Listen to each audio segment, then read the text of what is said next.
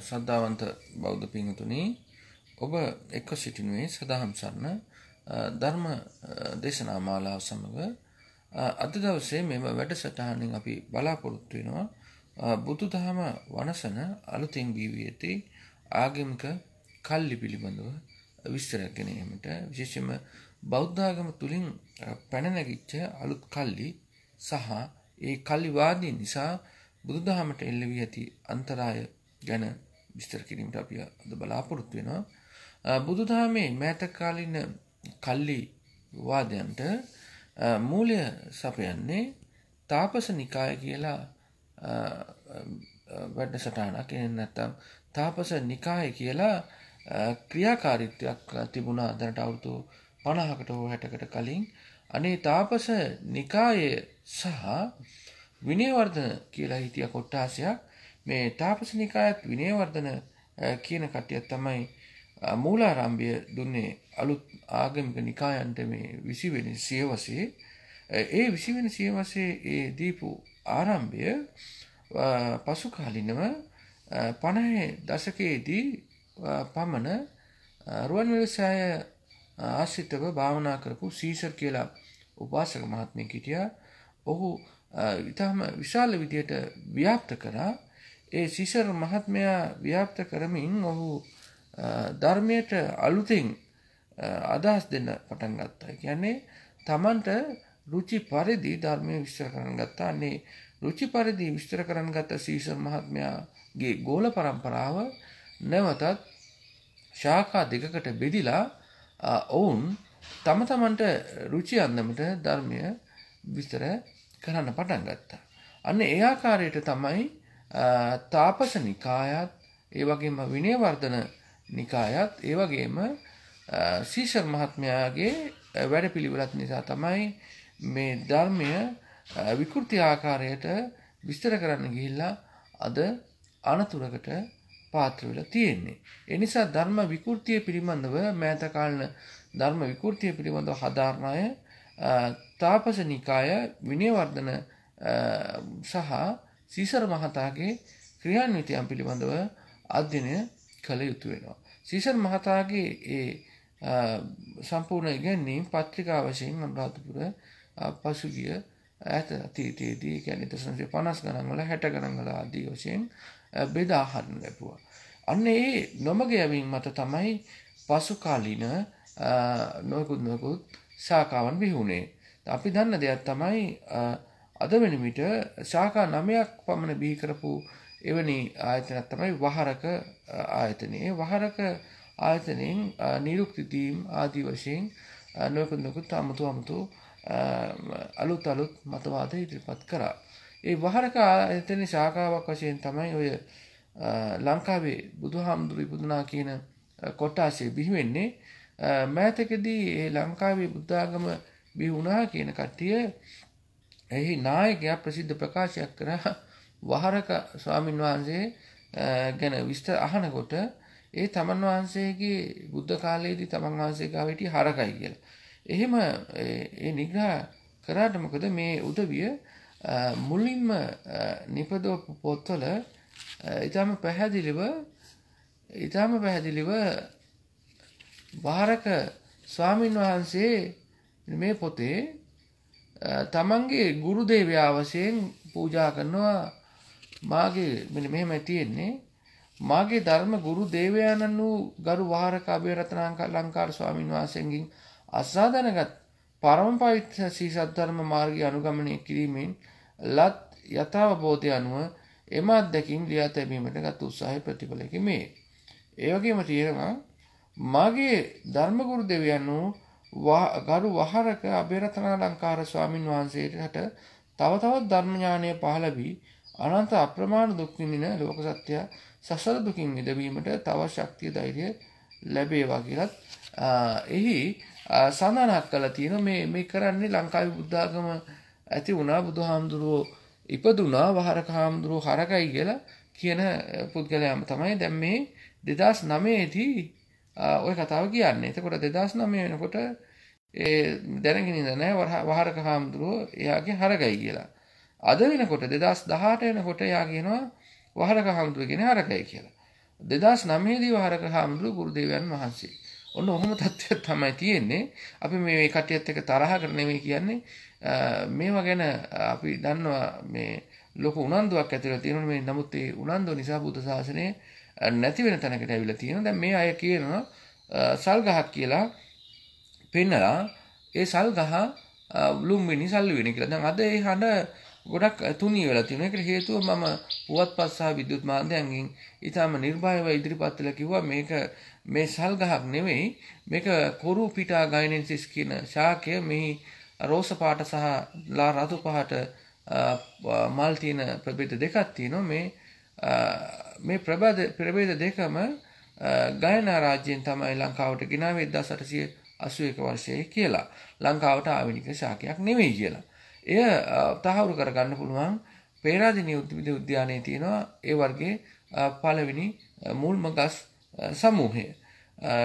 ගයනා ශාකයේ ඒ ගයනාවේ සහ මධ්‍යම ඇමරිකාවට සහ ඇමසෝනියානු ප්‍රදේශයට ආවෙනික ශාකයක් වශයෙන් මේ කෝරුපිටා ශාකයන් හඳුන්වා දෙන්න පුළුවන්. අන්නේ කොරුපිටා ශාකයන් තමයි මේ කට්ටිය ලුම්බිනි සල්ලු වෙන කියලා පෙන්වන්න හදන්නේ. ඒ වගේම තව එකක් මේ කට්ටිය උත්සාහ කරනවා මේ නේරංජනා නදිය. නේරංජනා නදිය කියලා පෙන්වන්නේ වතුර ගලාගෙන යන්නේ නැති වතුර බ්ලොක් වෙලා තියෙන එහෙම නැත්නම් වතුර පල් වෙවි තියෙන මාර්ගයක්. මේ වතුර පල් වෙවි තියෙන මාර්ගය ඇත්තටම පැරණි වාරමාර්ග සිටියන් අනුව බැලුවම වාරි මාර්ග ඇලක්. ඒ වාරි මාර්ගයේ ඇලේ මූලය තියෙන්නේ යෝධ ඇල අවසානය තියෙන්නේ කුඹුරු. නමුත් මේ අතහැර දමන ලද ඇලක් වශයෙන් වාරි මාර්ග දෙපාර්තමේන්තුව පවා හඳුනාගෙන තියෙන ස්ථානයක්. ඒ වගේම දැන් මේ කට්ටිය කියනවා බුදුන් වහන්සේගේ බෝධි මූලය තියෙනවලු හිරි වඩුන්නේ කියලා මට මතක හැටියට මම කියන්නේ හිරි වඩුන්න කියන ඒ ප්‍රදේශය තියෙන ඒ බෝධි වෘක්ෂය යට තියෙන ගල්පොත්තක්. මේ ගල්පොත්ත පෙන්නලා කියනවලු මේක තමයි වජ්‍රාසනය කියලා. නමුත් ඒ පැත්තේ ඉන්න මිනිස්සෙකුන් ඇහුවම ඒ පැත්තේ මිනිස්සයාට ගමේ කට්ටිය විස්තර කරලා දීලා තියෙන මේ යන යන කට්ටියට ඕක අපේ අපුච්චා කැලේ ඉඳන් ගෙනත් දාපු ගල්පොත්තක් කියලා. ඒ නිසා ඒ ඒ කතාව අනුව ඔය කියන ඔය කියන මතවාදයත් පහසුවෙන් මිඳ වැටෙනවා. ඒ වගේම දැන් මේ කට්ටිය කියනවා තව අලුත් අලුත් කතා හදනවා. ඒ කියන්නේ දවසින් දවස අලුතින් නිර්මාණය කරන පුද්ගලයන් අද ගන්නවා. අනිත් එක තමයි මහා මහා දේවිය ලිංග විපර්යාසයට ලක් වුණාලු දවස් හතකින්. එහෙම හත් වෙලා සුද්ධෝදන රජුරුව මහා මායා දේවි සිර කළ තිවලු ගුහාවක. ඒ සිර කළ තිවන් පස්සේ බුදුහාමුදුරුවෝ ඉනිමකකින් බැහැලා මහා මායා දේවිට බණ කිවලු මේ ගුහාව තියෙන්නේ ඇඹිලිපිටියට ආසන්න ප්‍රදේශයක කියලායි කියන්නේ. ඉතින් මේ වගේ අද්භූත කතා කියනකොට ත්‍රිපිටක ධර්මයේ නොදත් පිරිස ඒක රාශි වෙනවා මේ කතා පස්සේ. එහෙම ඒක රාශි වෙලා සිද්ධ වෙන්නේ මොකද්ද? පන්සල් වැහිලා යනවා. බුද්ධාගමේ කල්ලිවාදයක් හැදෙනවා. මේ කල්ලි අතර අන්තර් ක්‍රියා ඇති වෙලා බුද්ධාගම නැතර නැති වෙලා යනවා. අපි දැන් බලමු ඊළඟට තවත් මෙවැනි මතවාදයක්. ඒක තමයි අපි තාවතින් සහ යාත්‍රාව කියලා කියන්නේ. මේ තාවතින් සහ යාත්‍රාවේ පදනම තාවතින් සහ යාත්‍රිකයන් කියන්නේ මේ කාලේ මාර්ගඵල සංඛ්‍යාත නියමට එන්න බෑ. ඒ නිසා තවුසිතා දෙව්ලෝකයට යන්න ඕන. ඒකට පින් කරන්න ඕන. ඒකට ප්‍රාර්ථනා කරන්න ඕන. ඔය ආදී වශයෙන්. මේ තාවතින් සහ යාත්‍රිකයන් බුද්ධ ආගම දන්නේ කියන එක අපිට කියන්න පුළුවන්. බුදුන් වහන්සේ කුද්දක නිකායේ කියනවා ගෞතම බුද්ධ ශාසනයේ ඉපදීමේදී ලබන ඒ වාසනා ගුණය මත වහාම චතුරාර්ය සත්‍යය අවබෝධ කරගන්න උත්සාහ කරන්න කියලා. ගිහියන්ටත් පැවිද්දන්ටත් ප්‍රධාන තියෙන යුතුයකම් දෙකක්. ගිහියන් අවම වශයෙන් සෝවාන් වෙන්න ඕන කියනවා. පැවිද්දන් රහත් වෙන්න ඕන කියලා කියනවා. ඒ නිසා මේ තාවතින්සා යාත්‍රාව කිසිම පදනමක් නැති වැඩකට නැති යාත්‍රාවක් ඒ යාත්‍රාවත් බුද්ධ බුද්ධ ශාසනයේ නැස්ම පිණිස හදන ලද බාල වර්ගයේ යාත්‍රාවක්. දැන් ඊළඟට දැන් අලුතෙන් විවිධ පූජා ක්‍රම පිච්චමල් පූජාව එතකොට කිරි ආහාර පූජාව තව නොයෙකුත් නොයෙකුත් පූජාවන් තියෙනවා විශේෂයෙන්ම චෛත්‍යයන්ට සිවුරු පෙරවීමේ පූජාව ඒ වගේම චෛත්‍යයන්ට අටපිටිකර දීමේ පූජාව ඔය වගේ පූජාවක්. දැන් මේ පූජා ක්‍රම සංවිධානය කරන ප්‍රධාන ආයතනයේ ලේකකාධිකාරී මහත්මයා පසුගිය දවසක මට දුරකථනයෙන් කතා කරලා කිව්වා මේ පූජා කරන ඒ භික්ෂුන් වහන්සේට ඒ නමක් සඳහන් කරන්නේ මම මෙතන මම කිව්වා මීට වඩා අර්ථවත් පුදු ජනතාවට වැඩක් සිද්ධ වෙන යමක් කරමු කියලා. එතකොට එකපාරටම මේ ස්වාමීන් වහන්සේ කියලා තියෙන මහත්තයෝ ওই පූජා වලින් තමයි මට විදේශ රටවලින් ආධාර හම්බෙන්නේ.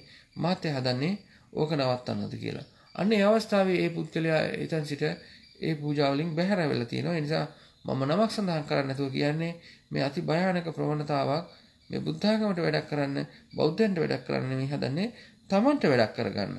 ඒ වගේම මෙවැනි හරසුන් පූජා විධි වලින් වෙන්නේ වෙනත් ආගමිකයන් බුද්ධාගම කෙරෙහි සහ බුදුන් වහන්සේ කෙරෙහි කලකිරීම.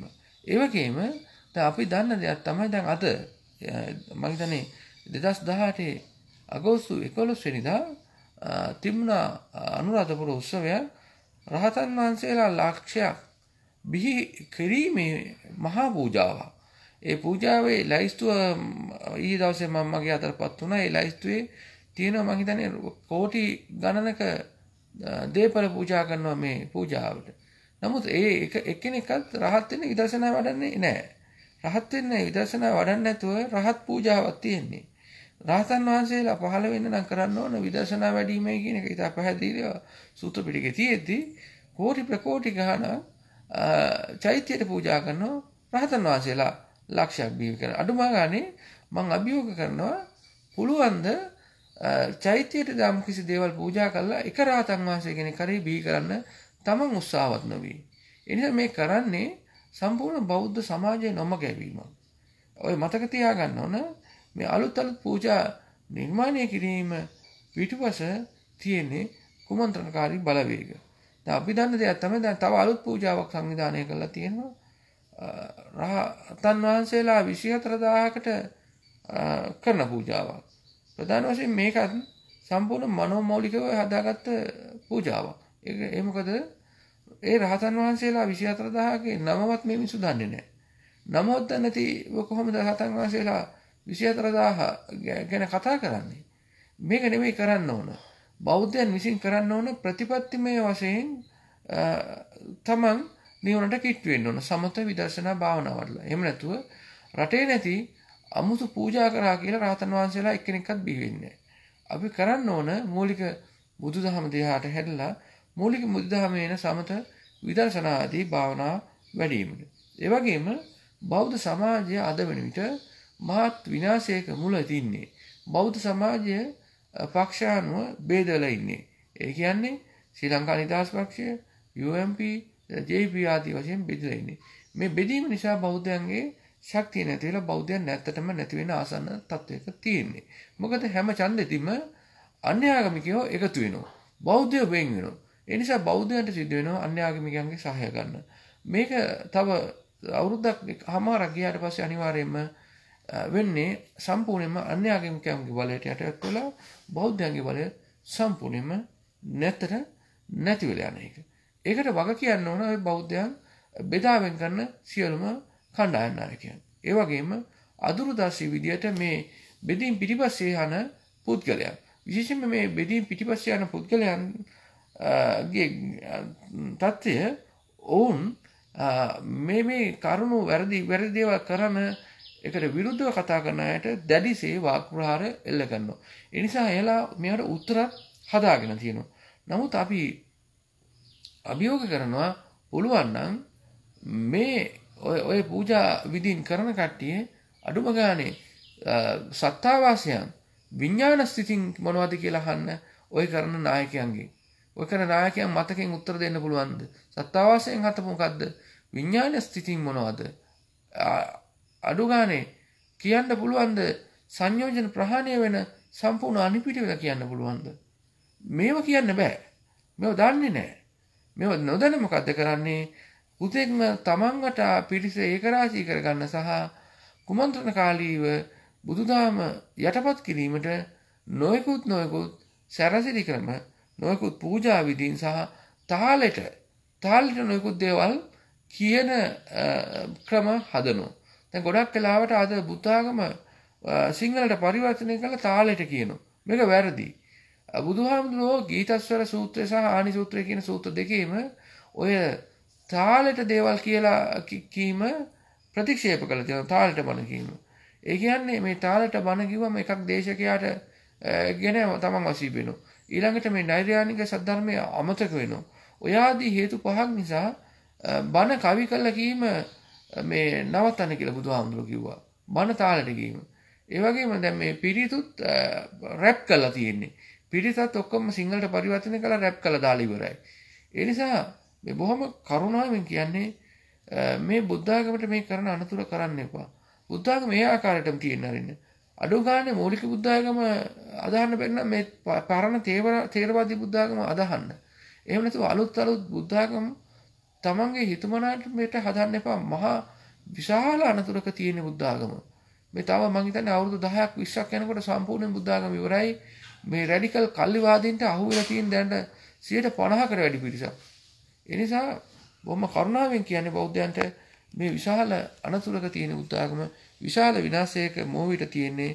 ඒ විශාල විනාශය කරා බුද්ධාගම ගෙනියන්න එපා. සියලු බෞද්ධයන් කතිකා වෙලා තනි බුද්ධාගමක් හදන්න ඒ වගේම පන්සලත් එක්ක එකතු වෙන්න. පන්සලේ ස්වාමින් වහන්සේලාගේ වැරදි තියෙනවා නම් මුණට කියන්න? මුණට කියලා ඒ වැරදි හදාගන්න. එහෙම නැතුව පන්සලේ ස්වාමින් වහන්සේලා වැරදි කරනවා කියලා අලුතෙන් නිකායන් හදාගෙන අලුතෙන් දේවල් හඳුන්වා දෙන්න ගියාම සිද්ධ වෙන්නේ බුද්ධ ආගම නැත්තට නැති වෙලා යන එක විතරයි.